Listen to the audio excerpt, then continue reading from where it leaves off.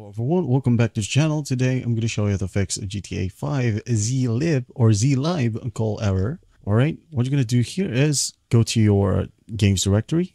In my case, it is located on C, program files x86, Steam, Steam apps, Common, and Grand Theft Auto 5. Now what we're going to do here is delete two files. Alright, one is the GTA 5.exe right here which has 56 MB. All right, delete that one, right click, delete. And after that, go to the update folder on the top. Now what you're going to want to do here is simply delete these two RPF files right here. If you only have one, just go ahead and delete one. If you have more, delete all, all right? Once done, open up the game and the Social Club will automatically download those, the uh, deleted files for you. And after that, it will launch the game.